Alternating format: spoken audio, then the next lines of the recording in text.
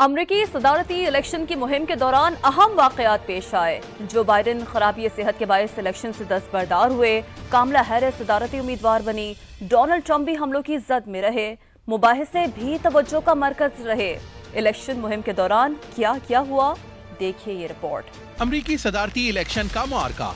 Democrats और Republicans को tension का भी सामना रहा। अहम वाकयात भी पेश आए।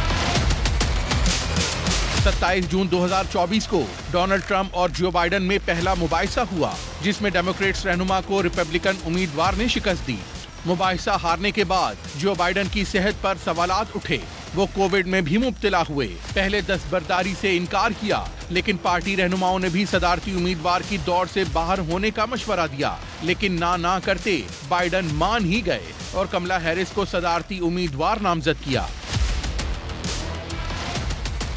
तेरह जुलाई को इंतबी मुहिम के दौरान अमरीका में अहम वाकया पेश आया।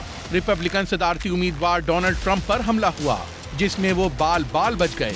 गोली कान को छू कर निकल गई।